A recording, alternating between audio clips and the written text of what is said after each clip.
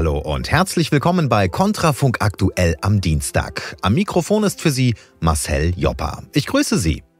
Schaut man in diesen Tagen in die großen Leitmedien, so scheinen die bewegenden Themen hierzulande vor allem außenpolitisch geprägt zu sein. In den USA ist das traditionell eher anders, in dieser Woche aber ganz besonders. Heute sind Midterm Elections. Und einer, der durfte im Wahlkampf natürlich nicht fehlen, das ist dieser Herr hier. We will make America proud again.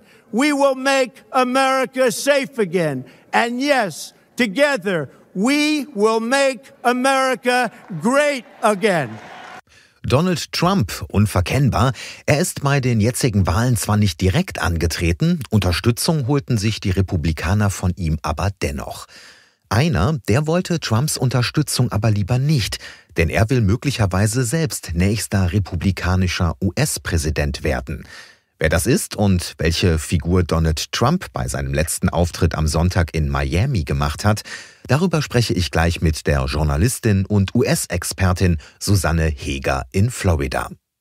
Um Deutschland soll es heute thematisch aber auch gehen. Laut Bundesgesundheitsminister Karl Lauterbach rauschen wir gerade in eine neue Corona-Winterwelle. Und in seinem Auftrag haben die Versicherungen wieder massenweise Impfeinladungen an ältere Menschen versendet.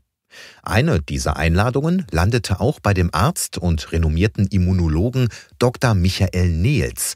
Er antwortete dem Minister ausgiebig mit einem offenen Brief, indem er den Impfstoff praktisch für überflüssig erklärt. Darüber und über den Einfluss der Pharmaindustrie auf Politik und Gesundheit werde ich mich gleich mit Dr. Nils unterhalten.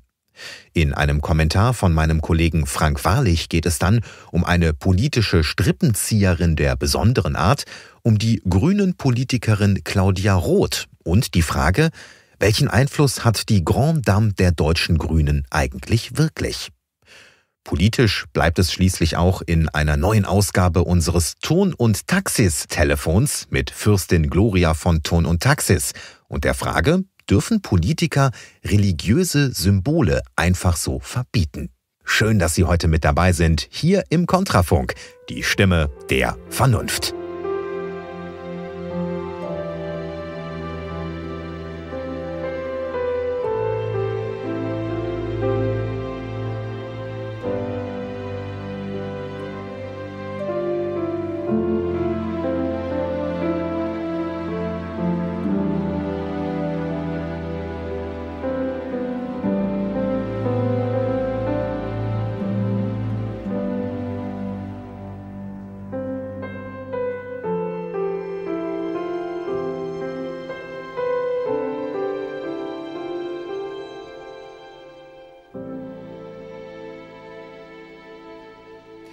Sie hören Kontrafunk aktuell am Dienstag.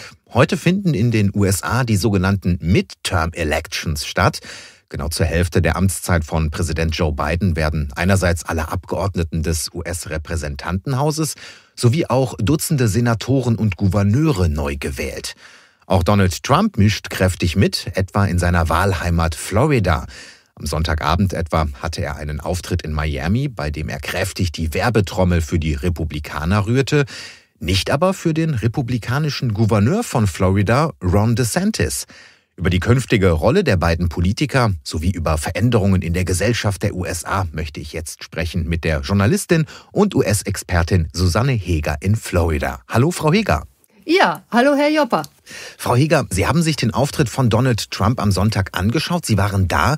Die deutschen Medien schreiben, er war gewohnt kämpferisch. Wie haben Sie ihn erlebt?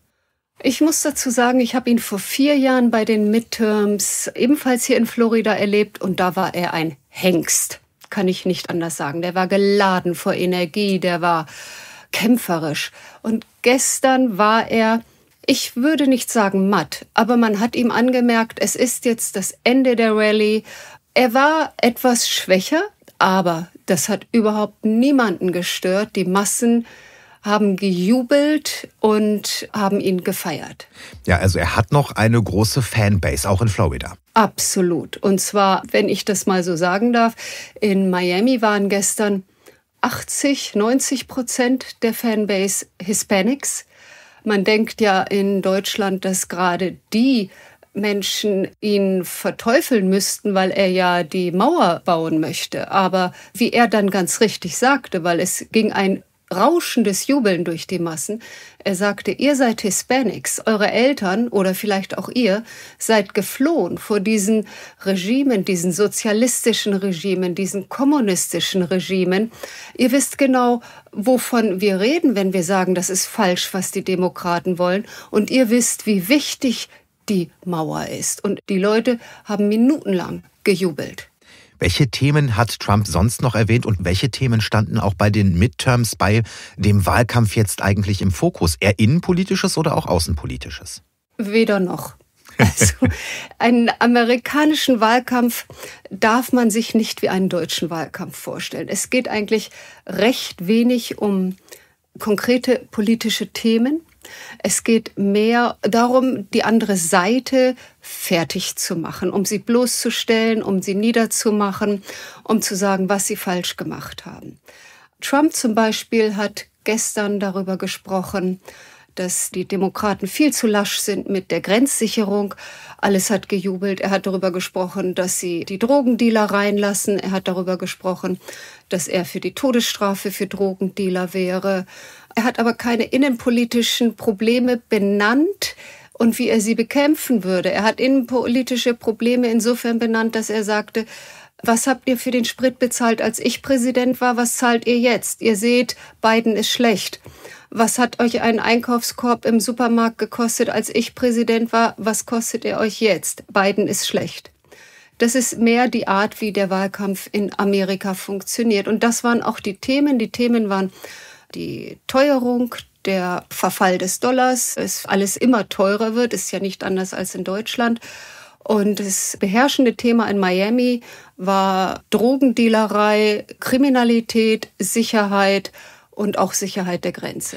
Der republikanische Gouverneur in Florida heißt ja eigentlich Ron DeSantis. Der war aber weder bei der Veranstaltung anwesend, noch hat ihn Trump mit einem Wort erwähnt. Warum das? Ah, vielleicht ist es sogar ganz gut, dass er DeSantis, er hat DeSantis erwähnt. Und zwar ganz zum Schluss hat er gesagt, dass die Leute seinen guten Freund Marco Rubio, der als Senator wieder kandidiert, wählen sollen und dass sie auch Ron DeSantis als Governor wählen sollen. Das hat er gesagt. Am Abend vorher in Pennsylvania hat er Ron DeSantis allerdings noch Ron DeSanctimonious genannt, was so viel heißt, Sanctimonious ist scheinheilig. Also Ron der Scheinheilige. Und hat dazu gesagt, er als Republikaner würde 70 Prozent der Zustimmung der Republikaner bekommen, des Sanctimonious, also Ron DeSantis, 10 und Mike DePence, worüber er sich auch wundern würde, immerhin noch 7 Prozent. Das kam nicht gut an. Die Republikaner mögen nicht, dass Trump DeSantis jetzt plötzlich angreift. Man geht davon aus, dass hinter den Kulissen bereits geklärt wurde, dass DeSantis für eine Präsidentschaftskandidatur zur Verfügung stünde und dass Donald Trump ihn im Vorfeld jetzt bereits niedermachen möchte. Aber es scheint so, dass das auch intern auf Kritik gestoßen ist und er hat es gestern in Miami mit keinem Wort wiederholt. Welche Rolle spielt denn DeSantis in den USA? In Deutschland ist er nahezu unbekannt. Hätte er da tatsächlich genug Rückhalt, in zwei Jahren als Präsident zu kandidieren? Also es gibt eine Bewegung, die nennt sich Make Florida America. Das heißt, der Stil, in dem DeSantis uns hier regiert hat, lockt täglich tausend Amerikaner an, die nach Florida ziehen aus den ganzen USA. Er ist unter allen republikanischen Gouverneuren und Senatoren und Kongressabgeordneten ein sehr beliebter Gesprächspartner. Er ist sehr klar, er ist sehr strukturiert. Er ist politisch auf einer ähnlichen Linie wie Trump, hat allerdings überhaupt nicht diese, ich sag mal, die Ausfallerscheinungen bei Twitter, die Trump manchmal hatte. Ron DeSantis formuliert sehr gut, sehr klar, immer höflich, aber auch sehr direkt, wenn er jemandem das Wort abschneidet und sagt, das ist Unsinn, was du da redest, das stimmt einfach nicht, hier sind die Fakten. Er kennt sich mit den Fakten sehr gut aus und er hat das Land durch diese Corona-Krise und auch durch die jetzige Krise so gut gelenkt, also das Land Florida, dass wir großartig dastehen. Wir haben eine niedrigere Rezession als die anderen Bundesländer. Wir hatten während Corona nur die ersten drei Monate Schulschließungen. Das heißt, die Probleme, die viele Eltern landesweit hatten, dass ihre Kinder nicht zur Schule gehen durften, die gab es hier in Florida nicht. Es war alles geöffnet nach kurzer Zeit wieder. Also schon im Jahr 2020 war alles wieder geöffnet. Es gab keinen Maskenzwang.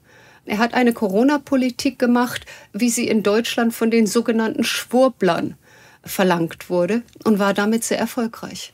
Ja, nicht nur bei dem Thema ist die USA tief gespalten. Viele Staaten haben ja durchaus sehr harte Corona-Maßnahmen gehabt. Florida gehörte nicht dazu. Was alle aber natürlich betrifft, ist eine Wirtschaftskrise und Auswirkungen, wie Sie gerade schon gesagt haben, was man an den Spritpreisen bereits erkennt. Welche Stimmung herrscht denn derzeit im Land? Was nehmen Sie wahr? Also die Spritpreise sind hier tatsächlich ein riesengroßes Thema, weil anders als in Deutschland, wo man zur Not in den Zug oder in den Bus steigen kann oder mit dem Lastenfahrrad irgendwo hinfährt, kann man hier nicht ausweichen. Es gibt keinen öffentlichen Nahverkehr. Also in New York gibt es ihn, aber hier in Florida gibt es ihn nicht. Ich muss mit dem Auto fahren, wenn ich irgendwo hin möchte. Und insofern sind die Spritpreise gerade für die Arbeiterschicht ein ganz wichtiger Faktor. Denn die wohnen sowieso schon in den billigeren Regionen, das heißt die Regionen, die etwas weiter draußen sind. Die müssen also mit dem Auto eine lange Strecke fahren. Die sind zum Teil morgens eine Stunde, anderthalb Stunden im Auto. Und wenn der Spritpreis dann auch noch sich, ich glaube, er hat sich hier vervierfacht, wenn ich mich recht erinnere, wenn der Spritpreis also dann derart steigt, dann ist das für diese Leute existenzbedrohend. Wie berichten die US-Medien auch über den Wahlkampf oder das politische Geschehen?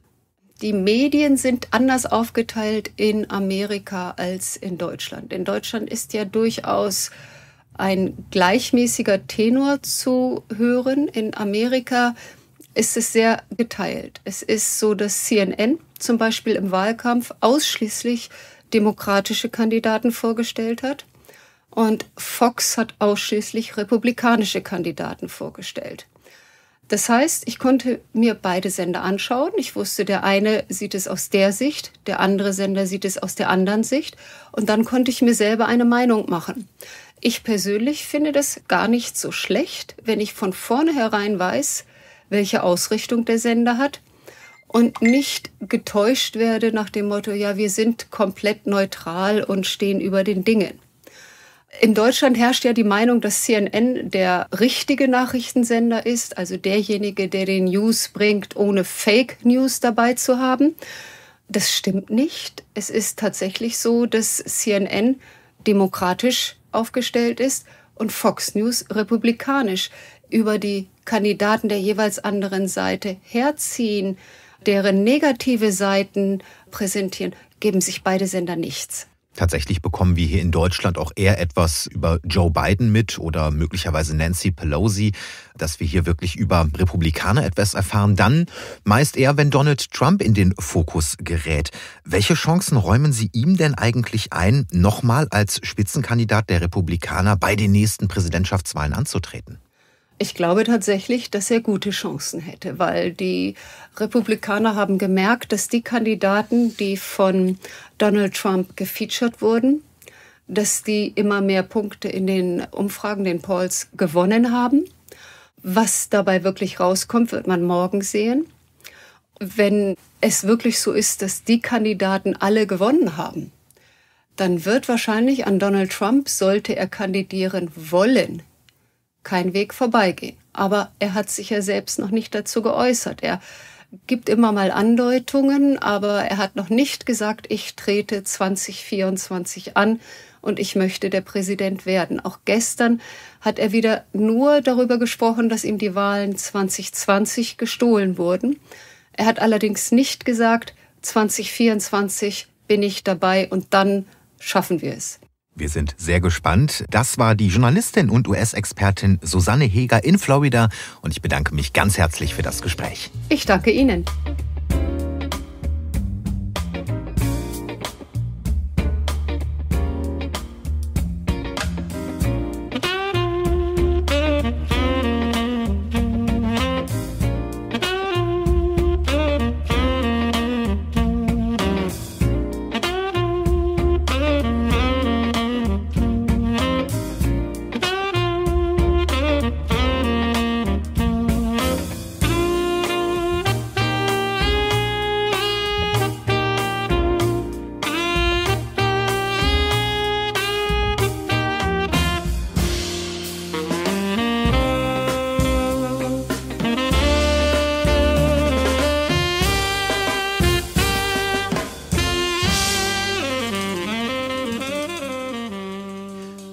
Bei Kontrafunk aktuell am Dienstag.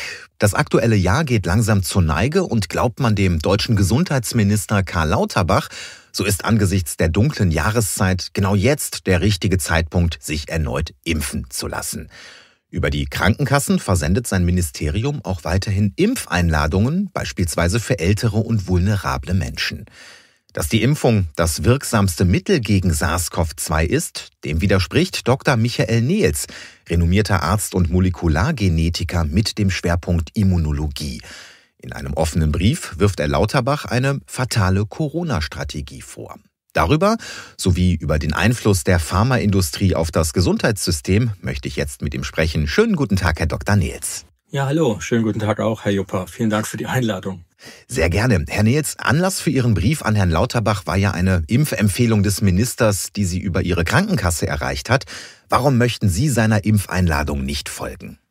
Naja, ich habe mich jetzt in den letzten zweieinhalb Jahren intensiv mit dem Thema beschäftigt und mich halt immer gefragt, wieso unser Immunsystem anscheinend unfähig ist, effektiv gegen das Virus vorzugehen und es eben zu schweren Verläufen kommt. Die Untersuchung der Zahlen belegte sehr früh schon, dass ja nur sehr wenige Menschen einen schweren Verlauf haben und selbst in den vulnerablen Gruppen, also ältere oder übergewichtige Diabetiker und so weiter, war klar, dass selbst in diesen Gruppen nur ein kleiner Prozentsatz tatsächlich einen schweren Verlauf hat. Und dann habe ich mir die Frage gestellt, was ist die Ursache dafür? Wieso haben wir die großen Infektionswellen im Winter und was sind die Ursachen für die schweren Verläufe? Und da gibt es einen gemeinsamen Nenner, der war sehr offensichtlich. Sehr vielen Experten war schon sehr, sehr früh klar, was der gemeinsame Nenner ist. Und das ist eben der winterliche Mangel an Produktion von Vitamin D der einerseits eben verursacht, dass man ein höheres Infektionsrisiko hat, beziehungsweise die Infektionsrisiko ist gleich hoch. Das ist eigentlich ein falscher Ausdruck. Im Prinzip ist es so, dass halt Infektionen einfach länger dauern, weil sich das Immunsystem geschwächt durch den Vitamin D-Mangel länger braucht, um das Virus zu eliminieren. Und das andere ist eben, durch den sogenannten Zytokinsturm kommt es eben zu schweren Verläufen, weil eine Dysregulation des Immunsystems eben verursacht wird, eben durch denselben Vitamin D-Mangel. Und das heißt, man hätte mit ganz einfacher Strategie, sprich das Beheben des winterlichen Vitamin D-Mangels, sowohl das Infektionsrisiko für andere reduziert, weil Menschen eben kürzere Zeit Träger des Virus sind und ihn verbreiten können, also bester Fremdschutz. Das ist auch in Interventionsstudien gezeigt worden. Und vor allem, es hätte überhaupt keine schweren Verläufe gegeben. Auch dafür gibt es in der Zwischenzeit Interventionsstudien, also Studien, die kausal belegen, dass wenn man den Vitamin D-Spiegel auf ein vernünftiges, gesundes Niveau bringt, es eben keine Zytokinsturm geben kann und deswegen auch keine schweren Verläufe so dass man im Prinzip sagen muss, was wir hier erleben, ist eine hausgemachte Krise. Und das war eigentlich schon sehr, sehr früh bekannt, auch Herrn Lauterbach. Nun würde Herr Lauterbach wahrscheinlich sagen, dann soll man sich bestenfalls eben mit beidem versorgen, also sich gegen SARS-CoV-2 impfen lassen und Vitamin D nehmen. Würden Sie da mit dem Minister auf einen Nenner kommen? Nicht unbedingt. Naja, ich meine, es ist ja so, ich würde mich nur impfen lassen, wenn es keine Alternative gäbe. Also wenn es ich in ein Gebiet reisen würde, wo Ebola endemisch ist und die Gefahr groß ist, dass ich ein Virus einfange, das zu über 90 Prozent tödlich ist, und zwar unabhängig von meinem Immunstatus, weil einfach das Virus selbst eine große Gefahr darstellt, dann würde ich eine Impfung erwägen. Aber in dem Fall ist es ja so, dass die schweren Verläufe nicht durch das Virus selbst verursacht werden, sondern die schweren Verläufe kommen durch eine Dysregulation des Immunsystems.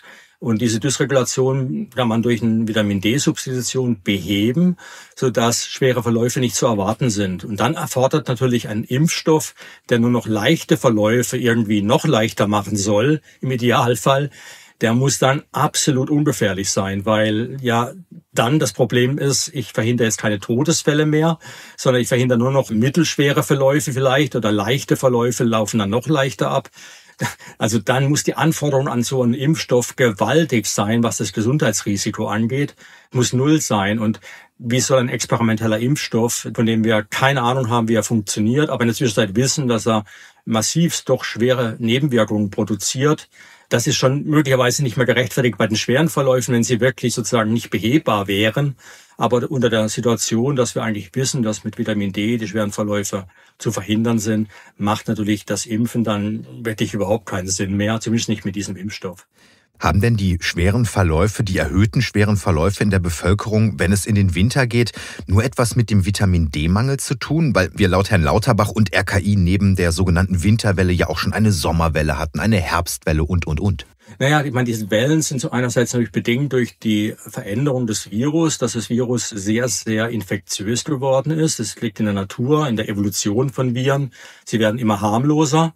Das ist einfach dadurch bedingt, dass ein harmloses Virus den Träger, also der, der infiziert ist, nicht wirklich krank macht und dadurch die Verbreitung des Virus eben besser funktioniert. Wenn ich schwer krank bin, bleibe ich zu Hause und gehe auf keinen Fall auf die Straße. Aber wenn ich nur leicht erkrankt bin oder gar nicht merke, dass ich überhaupt erkrankt bin, weil ich keine Symptome habe, dann verbreite ich das Virus natürlich viel, viel effizienter. Und was wir im Sommer gemerkt haben, wir haben dann eine Verbreitung des Virus, weil, wie gesagt, Vitamin D verhindert ja nicht, dass wir infiziert werden. Aber was eben nicht stattgefunden hat, ist eine Überlastung der Krankenhäuser durch schwere Fälle. Das erwartet man jetzt erst wieder im Herbst. Und das ist eben die zweite Seite von eben dem Vitamin D-Mangel, dass eben dann der Zytokinsturm durch einen gravierenderen Mangel, wie er im, im Winter herrscht, in der Bevölkerung, dann eben die schweren Fälle eben wahrscheinlicher werden. Und da hilft eben nur eine vernünftige Prophylaxe mit Vitamin D-Substitution. Und interessanterweise war das auch schon Herrn Lauterbach klar. Ich habe gerade vor kurzem, als ich den Brief rausgeschickt hatte, hat mich dann ein Leser des Briefes angeschrieben, ob ich denn wüsste, dass Herr Lauterbach am 8. September 2020, also vor der ersten richtigen Winterwelle, die wir hatten, gesagt hat, und ich zitiere ihn gerade mal wörtlich, Vitamin D-Mangel ist auch bei anderen Infektionskrankheiten Risikofaktor, schwächt Immunfunktion. Auch Krebsrisiko steigt teilweise. Und dann kommt der nächste Satz, und das ist eben der, über den ich mich wundere, weil er ist genau der Inhalt meines Briefs. Er schreibt hier, daher überraschen Studien nicht, dass Vitamin D-Mangel höheres Infektionsrisiko wie auch schweren Verlauf verursacht. Okay, da haben wir die Antwort. Und er ist überhaupt nicht überrascht, dass Studien das beweisen.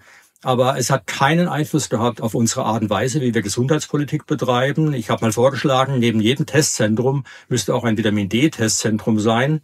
Und dann könnte man den Leuten eben raten, okay, ihr seid positiv, aber jetzt spätestens jetzt ersten Vitamin D-Spiegel überprüfen und korrigieren, damit falls die Positivität des Tests tatsächlich mit einer Infektion übereinstimmt und man Angst haben muss, vielleicht auch einen schweren Verlauf zu haben, dass man da eben die richtige Prophylaxe dann wenigstens rechtzeitig betreibt. Aber noch viel schlimmer, wir wissen eben, dass man länger Träger ist unter Vitamin D-Mangel. Das heißt, bester Eigenschutz unter ungefähr bei Faktor 3 laut Studienlage hat man eben, wenn man Vitamin D-Prophylaxe betreibt und damit andere eben schützt, weil man eben kürzere Zeit nur Träger ist. Und das ist ja ganz, ganz wichtig. Einige Zuhörer fragen sich jetzt vielleicht, ja, wie kann man denn den Vitamin D-Spiegel messen oder vor allem, wie bekomme ich denn am besten einen guten Vitamin D-Spiegel? Also gibt es besondere Nahrungsmittel, die ich zu mir nehmen sollte oder ist das tatsächlich etwas, was ich dann in der Apotheke besorgen sollte? Nein, in der Apotheke muss nicht sein. Da werden jetzt natürlich die Apotheke hassen, aber es gibt sehr viele Produkte, die man einfach übers Internet beziehen kann. Die sind dann auch etwas günstiger. Da hat man nicht unbedingt den Apothekenpreis. Also ich zum Beispiel, ich mache jetzt keine Produktwerbung, aber ich bezahle zum Beispiel für eine Jahresdosis, die dann mir den Spiegel liefert, der nach einer Studie von drei Deutschen, einer Meta-Analyse und von zig Studien haben wir herausgefunden, dass ein Spiegel von 125 Nanomol pro Liter mit einer Null-Mortalität einhergeht bei Corona. Und um diese 125 zu erreichen, das ganze Jahr, brauche ich ungefähr sechs Euro. Also nicht am Tag sechs Euro im ganzen Jahr. Ja, also das ist lächerlich wenig. Da verdient niemand was dran. Kann man auch nicht patentieren. Vitamin D ist frei erhältlich. Das heißt, keine Pharmaindustrie hat da Interesse dran, so etwas wirklich zu vermarkten. Aber der Punkt ist eben, für sechs Euro wäre sozusagen der ganze Spuk vorbei gewesen. Sechs Euro pro Person. Ich glaube, allein der Brief an mich hat es so viel gekostet von den zwei Euro Porto und Bearbeitungsgebühren und und so weiter. Also allein der Brief hätte so viel gekostet wie wahrscheinlich eine Jahresdosis Vitamin D. Und deswegen finde ich es eigentlich schon merkwürdig, was hier läuft. Wie Sie sagen es, an äh, Vitamin D würde die Pharmaindustrie wohl äh, nichts verdienen, zumindest nicht so viel wie an den Impfungen. Sie kennen sich ja in der Branche sehr gut aus. Welchen Einfluss hat die Pharmaindustrie denn auf das Gesundheitssystem und auch auf die Politik? Einen gewaltigen, im Prinzip einen hundertprozentigen kann man fast sagen. Also zumindest schon im Studium relativ viel Einfluss rein in die Entwicklung der sogenannten Lehrpläne dann hat sie enormen Einfluss auf was man in der Medizin die Leitlinien nennt, also wie ein Arzt optimal arbeiten sollte. Leitlinien sind zwar kein Gesetz, Aber es ist immer so, dass wenn ein Arzt davon abweicht, er immer Sorge hat, dass wenn dann irgendwas schieflaufen könnte, selbst wenn er dafür gar keine Ursache ist und eigentlich optimale sogar macht, wenn er abweicht von der Leitlinie, immer die Angst haben muss, er wird vielleicht verklagt. Es hat zum Beispiel in der Alzheimer-Industrie hat es zum Beispiel dann die Konsequenz, dass man diese Alzheimer-Mittel immer verschrieben bekommt, obwohl nachweislich kein Nutzen da ist in manchen Ländern wie Frankreich zum Beispiel gar nicht mehr bezahlt werden. Aber hier in Deutschland werden die noch verschrieben, weil es eben Leitlinie ist. Und die Pharmaindustrie hat über die Leitlinien einen gigantischen Einfluss. Und dann kommt der dritte, natürlich über den Gesetzgeber, über den Lobbyismus. Ich meine, der Hauptlobbyist ist wahrscheinlich für die ganze Sache, die wir momentan erleben, ist ja Herr Lauterbach. Das ist ja auch in den anderen Branchen so, ob es der Gesundheitsminister eben ist oder eben auch der Verkehrsminister oder sonst wer. Es sind immer letztendlich auch dann Vertreter der Industrien, die sie sind und eben dann da Lobbyarbeit betreiben, auch über Gesetze. Und der vierte ist natürlich das Marketing schlechthin. Eins der Hauptportale zum Beispiel für die Information von Ärzten und Heilberuflern ist zum Beispiel Medscape. Medscape wird fast ausschließlich von der Pharmaindustrie finanziert. Und gerade gestern hat man mir dann einen Artikel zugeschickt mit dem Thema, es ist nun offiziell, Doppelpunkt, Vitamine bringen nichts. Also Vitamine sind entdeckt worden, weil der Mangel zu schweren Störungen in unserem Organismus führt, bis zu Tod. Also wir brauchen Vitamine, weil sie eben lebenswichtig sind. Da kommt das Wort Vita ja schon mal her. Und jetzt wird in Medscape, wird die Ärzteschaft informiert, dass man Vitamine gar nicht bräuchte. Und das ist nicht der erste dieser Artikel, die ich in den letzten Wochen zu sehen bekomme. Und im Hauptfokus dieser Gegen-Vitamin-Kampagne steht Vitamin D. Und das kommt meiner Ansicht nach nicht von ungefähr, weil, wie gesagt, Vitamin D hätte den ganzen Spuk von Anfang an nicht nur beendet, es hätte ihn gar nicht gegeben. Und jetzt haben wir ja praktisch eine Situation, wo das immer offensichtlicher wird. Es gibt inzwischen seit über 100 Studien, die zeigen, dass Vitamin D präventiv sehr, sehr gut wirkt. Präventiv im Sinne von Spiegel anheben bei niedrigem Spiegel. Es ist natürlich die Frage, wer hat Schuld daran, dass man nicht von vornherein die richtige, richtigen Maßnahmen ergriffen hat. Deswegen ist, glaube ich, ganz, ganz wichtig momentan von der Industrie, dass man eben gegen Vitamin D schießt und auch Studien kreiert. Das habe ich jetzt gerade in mehreren Videos gezeigt, die sogar so designt sind, dass sie scheitern müssen, um sie dann durch die Presse zu jagen und den Menschen zu sagen, schaut mal, Vitamin D funktioniert nicht. Aber die Studien sind schon so designt, dass sie nicht funktionieren können. Und darauf mache ich dann auch eben aufmerksam. Und ist die Pharmaindustrie das eine, aber warum haben denn auch so viele Forscher, Epidemiologen, Wissenschaftler zumindest in der medialen Wahrnehmung seit Jahren den Corona-Regierungskurs auch in Sachen Impfung unterstützt, wenn Sie als Experte doch ganz klar sagen, hier macht die Politik aus fachlicher Sicht einen klaren Fehler? Also ich habe zwei Bücher dazu geschrieben. Das erste war das Corona-Syndrom. Da habe ich sehr, sehr intensiv darauf aufmerksam gemacht, logisch sozusagen die Sache hergeleitet. Noch intensiver habe ich es dann beschrieben in meinem Buch Herdengesundheit. Als das erste Buch rauskam, bin ich zum Beispiel vom CDF angeschrieben worden, vom Redaktion Herrn Lanz. Und die Frage, die an mich gestellt worden ist, die erste war, Herr Nils, tolles Buch, interessant. Ist das eine Einzelmeinung von Ihnen? Da habe ich gesagt, naja, in einem Buch habe ich 400 Studien, kann ja wohl kaum eine Einzelmeinung von mir sein. Dann kam die Rückfrage, ob ich zehn Experten hätte, die man auch fragen könnte, die meine Meinung unterstützen. Da habe ich eine Liste von zehn Experten Ihnen geschickt und dann habe ich nie mehr was gehört. Hm. Und ich glaube, das ist so typisch. Man hat im Prinzip, lädt man nur Experten ein, die den Regierungskurs entweder unterstützen oder zumindest nicht weit davon abweichen, so dass das Narrativ, die Erzählung sozusagen immer in einem engen Korridor bleibt. Aber das andere Extrem, dass man die ganze Corona-Pandemie, dass sie nie stattgefunden hätte in der Form, hätte man sozusagen ganz anders agiert. Diese extreme, sozusagen alternative Option wird gar nicht diskutiert und deswegen bewegt sich der ganze politische und gesellschaftliche Diskurs über das Thema in einem Bereich, der vollkommen falsch ist. Abschließend, Herr Dr. Niels, vor wenigen Tagen, da sorgte eine Studie aus Oxford für Aufmerksamkeit. Forscher dort wollen belegt haben, dass die Gefahr für geimpfte Menschen einige Monate nach ihrer Impfung sogar deutlich höher ist, einen schweren Verlauf zu erlangen oder sogar zu versterben, als bei ungeimpften. Überrascht Sie dieses Ergebnis? Nein, das überrascht überhaupt nicht. Das war schon von vornherein klar. Das habe ich auch in meinem Buch schon beschrieben. Herdengesundheit habe ich da ausführlich darauf aufmerksam gemacht. Und es gab auch noch eine weitere Studie, die hat man durchgeführt bei allen Schweden. Also über fünf Millionen Menschen wurden da retrospektiv untersucht. Wie ist der Schutz durch dieses Injektion und wie ist die Alternative, wenn man eben nicht injiziert wurde und eben ungeimpft blieb? Und dann hat man festgestellt, also nach sechs Monaten ist praktisch kein Impfschutz mehr da, was immer dieser Impfschutz darstellen soll überhaupt. Für mich als Immunologe vollkommen unverständlich, warum überhaupt das Immunsystem nach sechs Monaten vergessen soll, dass sozusagen ein Antigen in Form dieses Spike-Proteins da gewesen war und dass man das eben vergisst. Das macht keinen Sinn biologisch. Es muss einen anderen Mechanismus geben. Und der weist auch schon ein bisschen darauf hin, wo es hingeht, weil diese schwedische Studie zeigt, nach acht, neun Monaten erhöht sich die Gefahr schwerer Verläufe für die Geimpften. Das ist eindeutig und dann müsste man eigentlich, das wurde im Lancet publiziert, aber ist auch sehr pharmanah, wäre eigentlich die logische Konsequenz, bitte Hände weg von der Impfung. Aber stattdessen haben sie gesagt, na ja, dass man nicht durch die, in dieses Loch reinfällt, wo es schlimmer wird für die Geimpften, muss man nach sechs Monaten einfach wieder nachimpfen. Das widerspricht aber dem Herrn Cavalieri, ein Dr. Cavalieri ist der Sicherheitsbeauftragte der EMA und der hat schon vor einem Jahr gesagt, wir müssen aufpassen, dass wir das Immunsystem nicht überfordern durch dieses mehrfache Boostern. Und damit hat er vollkommen recht. Die Beweise legen ganz klar dar, dass das Immunsystem durch dieses wiederholte Injizieren dieser Gentherapie geschwächt wird und die Leidenden, die Folgen sozusagen neben vielen Krankheiten, auch die Immunkrankheiten und so weiter, eben auch die Schwächung des Immunsystems mit Ausbrechen von verschiedenen Krankheiten, die normalerweise vom Immunsystem gut beherrscht werden, Typisches Beispiel Herpes zoster, Gürtelrose, schlummert, seit wir Windpocken hatten, in der Kindheit in unserem System. Die Viren sind praktisch immer da, aber wir haben deswegen keine Gürtelrose. Wir bekommen sie erst dann, wenn wir geimpft werden. Und das ist ein ganz klares Zeichen. Das Immunsystem wird massiv geschwächt. Und die Konsequenzen sind natürlich dann, wenn man irgendeine Infektion bekommt, dass auch die nicht optimal abgewehrt wird sagt Dr. Michael Nils, Arzt und Molekulargenetiker mit dem Schwerpunkt Immunologie. Ich bedanke mich recht herzlich für das Gespräch. Ja, Herr Opa, ich danke Ihnen.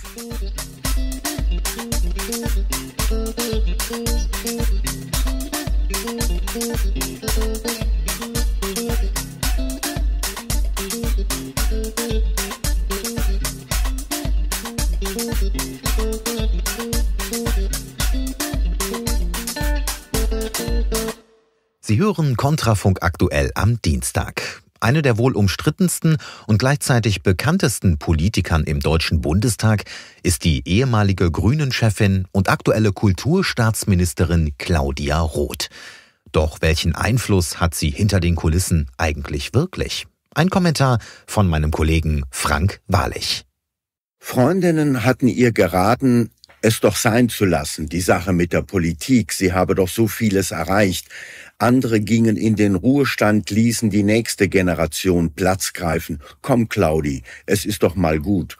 Auf Claudia Roth einzureden ist ziemlich erfolglos. So erfolglos, wie sie in voller Redefahrt zu unterbrechen.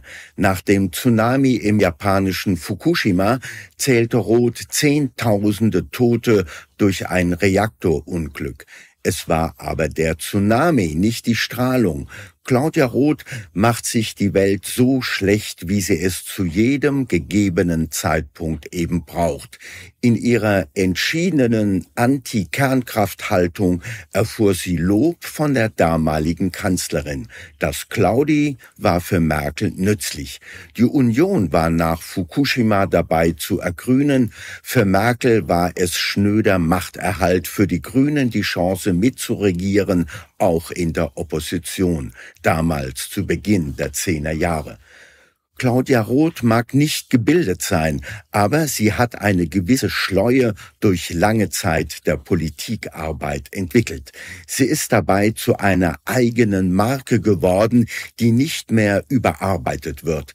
Aber die Grenze zwischen Marke und Karikatur ist bei Claudia Roth fließend grün, links, oft lustig, immer in Empörungshaltung und immer dabei, wenn Kameras und Mikrofone dabei sind.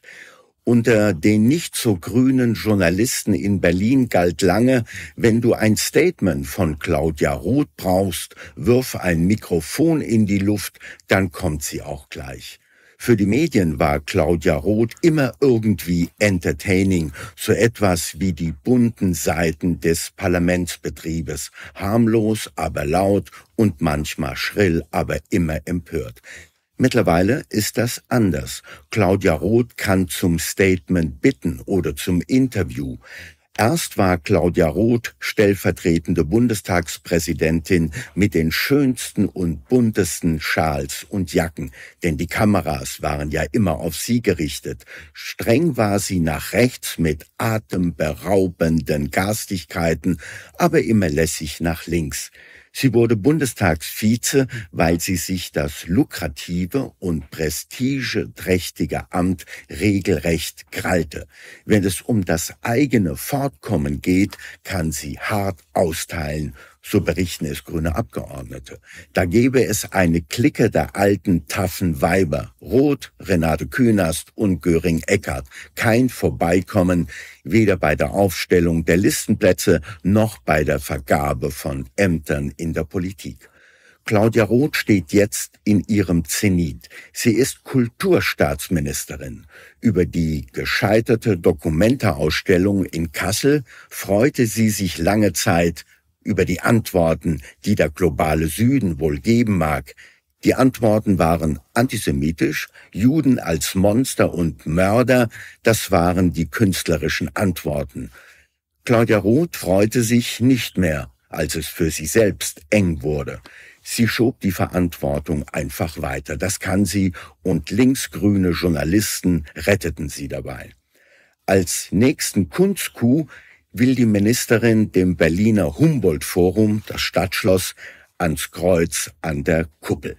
Da will ich ran, sagte sie, weg mit dem Bibelzitat in einem Aufwasch. Claudia Roth redet von fehlender Weltoffenheit und mangelnder Toleranz, was eben der Phrasentrashkasten dieser woken Person so alles seit Jahren bereithält. Das Schlimme ist nicht der Wunsch der Frau nach Umwertung und Zerstörung von deutscher, von christlicher Geschichte, sondern der mangelnde Widerspruch der Bürger. Niemand von Intellekt und Statur sagt, Claudi, ich glaube, es hackt.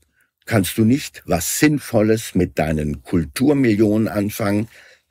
In ihrer aufgesetzten jugendlichen Robustheit ist Claudia Roth in den Kaputtmach-Modus übergegangen, weil keiner Stopp sagt.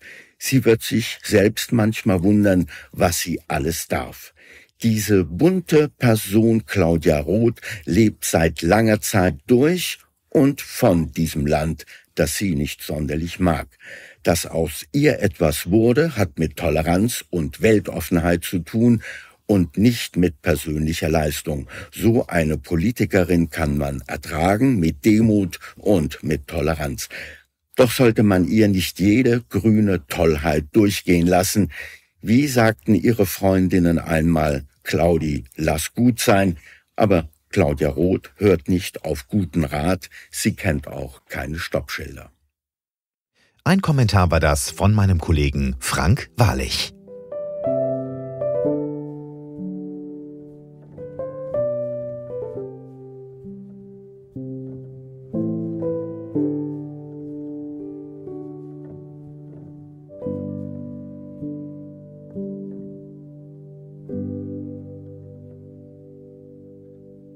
Zurück bei Kontrafunk aktuell und es ist wieder Zeit für unser Ton- und Taxis-Telefon.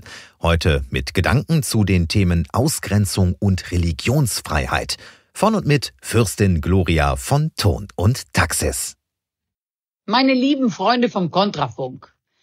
Das Überkleben der Bibelsprüche am Stadtschloss von Berlin und das Entfernen des mittelalterlichen Kreuzes aus dem Friedenssaal in Münster also wirklich. Das offenbart doch einen puritanischen Atheismus, nicht nur das, sondern auch einen galoppierenden kulturellen Minderwertigkeitskomplex. Außerdem ist es doch ein Fall, da müsste doch eigentlich der Denkmalschutz einschreiten. Wo ist da bitte noch der Unterschied zu den Taliban, die die berühmten buddhistischen Felsenstatuen zerstört haben? Also, aber Spaß beiseite. Ich weiß von meinen vielen Reisen im Nahen Osten, dass die Araber sehr gottesfürchtige Menschen sind. Die bewundern zwar die Deutschen, aber sie hassen Ungläubige. Natürlich haben die auch Probleme mit der Dreifaltigkeit. mit der christlichen Dreifaltigkeit. Aber Jesus und Maria akzeptieren sie, denn die kommen ja sogar im Koran vor. Also eines ist doch ganz klar. Wenn rauskommt, und es kommt raus, denn es steht ja überall in der Zeitung, dass die jetzige Regierung eines der wichtigsten christlichen Symbole beseitigt, dann kommt das bei den Gästen als Verleumdung der eigenen religiösen Kultur, als knallharter Atheismus durch. Das wird weder respektiert noch gutiert, sondern das wird mit Sicherheit als Verrat an der eigenen Religion und Kultur gewertet. Und ehrlich gestanden, das ist es ja auch. Übrigens, das ist auch der Grund, warum die Grünen die Russen so hassen. Man nimmt denen übel, dass sie das Unerhörte getan haben, nämlich den Tugendpfad des Atheismus zu verlassen und zurück auf die längst überkommen geglaubten archaischen, mittelalterlichen, tausend Jahre alten Orthodoxie zurückgeschwenkt sind mit allem, was dazugehört. Zum hierarchischen System Familie, Vater, Mutter, Kind. Also da ist man doch heute schon viel weiter. Familie, das bitteschön ist doch Patchwork. Das ist Multikulti. Das ist mindestens eine Geschlechtsumwandlung und sechs schwule Opas. Und dieser Quatsch mit dem Nationalstolz und der Zugehörigkeit zu irgendwelchen Völkern und Stämmen, was soll das? Das haben wir doch längst hinter uns gelassen. Heutzutage reicht doch das Band der sexuellen Ausrichtung und der Vogue-Identität. Völker streiten nur untereinander. Tja, das Ganze läuft natürlich auf die Illusion der 60er und 70er Jahre hinaus. Make love, not war. Nix Neues unter der Sonne. Was Sie allerdings vergessen, ist, dass die Leute, die vorher miteinander geschnackselt haben, jetzt besonders bös miteinander kämpfen. Also, meiner Ansicht nach ist das auch keine Lösung. Sei es drum. Jetzt wird wenigstens immer klarer. Die Grünen sind und bleiben in der Wolle gefärbte Marxisten, die ihre Naturreligion rigoros durchsetzen wollen. Der Umweltschutz, die Klimarettung, das ist der Zweck, der alle Mittel heiligt. Hier entsteht der neue staatlich legitimierte Terror gegen alle, die nicht mitmachen. Zuerst wird man nur beschimpft und danach können noch viel schlimmere Dinge passieren. Und das alles, um die Welt zu retten. Also sind sie legitimiert. Unser christlicher Glaube an Gott, für den ich eine Lanze breche, hat das Europa, das wir heute haben, geschaffen, mit den wunderbaren Kirchen, Klöstern und Schlössern, die von der ganzen Welt besucht und bewundert werden. Unserer christlichen Religion verdanken wir ein einzigartiges Sozialsystem, welches auf Fürsorge und auf die Nächstenliebe des christlichen Glaubens ruht. Das gibt es weder in Amerika, noch in Asien, noch in Afrika. Und das haben wir wirklich dem christlichen Glauben als Basis Nächstenliebe zu verdanken. Mit den grünen Ideologen kehren wir zurück zum heidnischen Glauben von vor über tausend Jahren, an die bösen Gewalten der Natur, nur mit dem Unterschied, dass die heute die Hybris haben zu glauben, sie können die Natur beherrschen. Pah, das sieht man ja schon an dem Quatsch mit dem die Welttemperatur zwei Grad zurückregeln, als wenn die Welt einen Thermostatregler hätte. Also so viel Hybris hat's noch nie gegeben. Der Turmbau von Babel lässt grüßen. Tut mir leid, Leute. Aber diesen Wahnsinn, den kann man wirklich nur noch mit Humor ertragen. Also, alles Gute, eure Gloria. Das war das Ton- und Taxis-Telefon von und mit Fürstin Gloria von Ton und Taxis.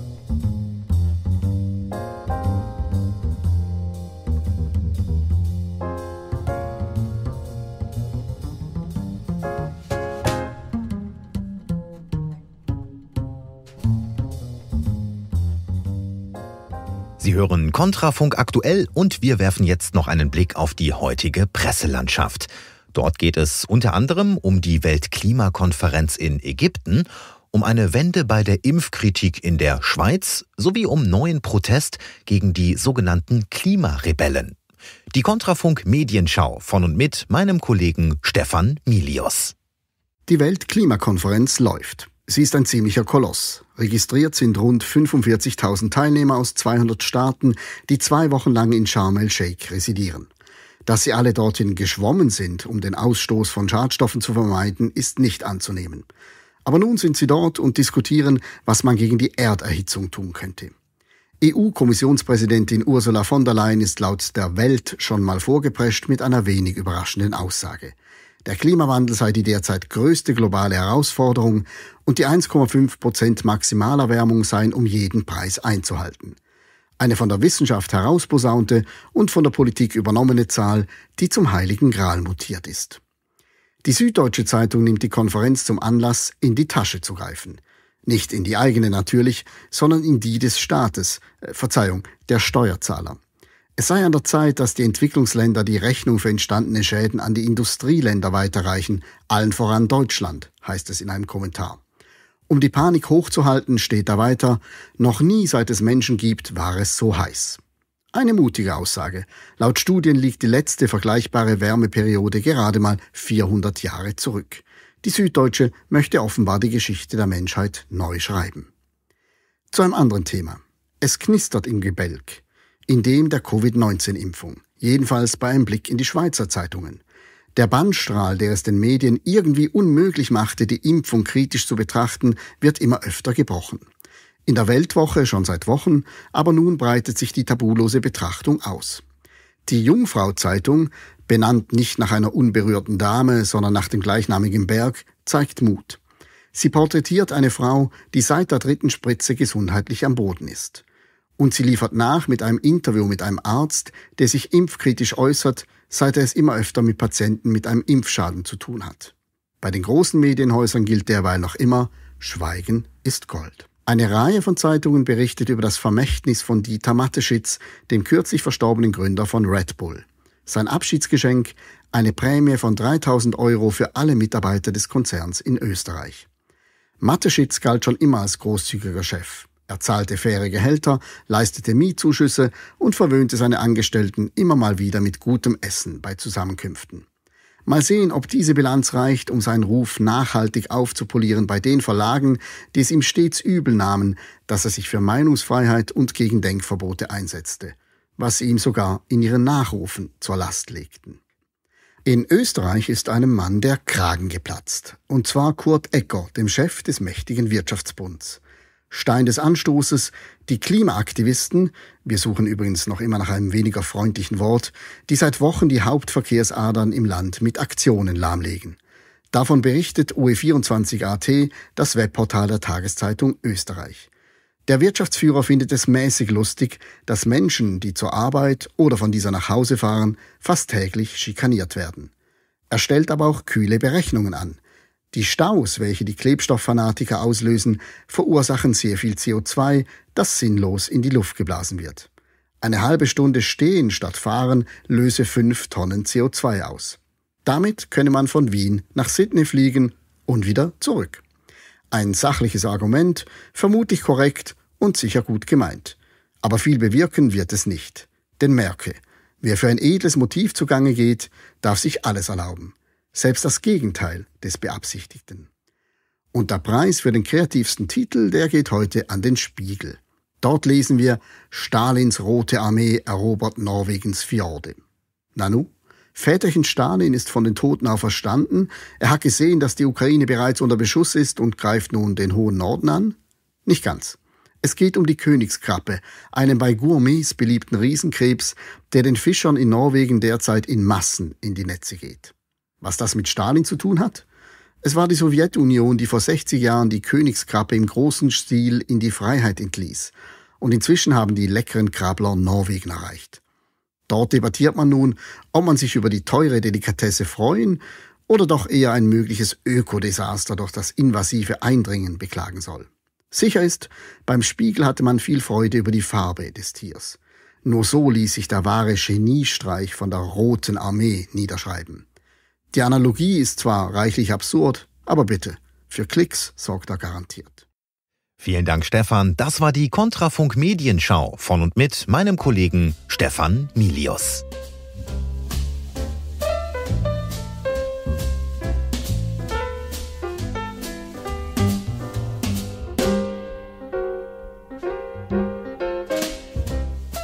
Sie hören Kontrafunk aktuell. Ja, und damit ist diese Dienstagsausgabe auch schon wieder am Ende angekommen. Ganz schön was los, gerade wieder politisch. Und bei all dem, was wir heute hier in der vergangenen Stunde gehört haben, hatte immer auch die Berichterstattung der großen Medien einen gewissen Anteil.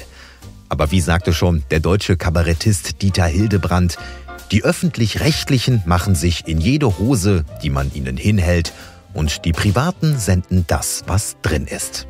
Und wissen Sie, was mir dazu einfällt? Gut, dass es Kontrafunk als Gegengewicht gibt. Oder nicht? Schreiben Sie uns Ihre Kritik oder Ihre Anregungen sehr gerne per E-Mail an info@kontrafunk.radio.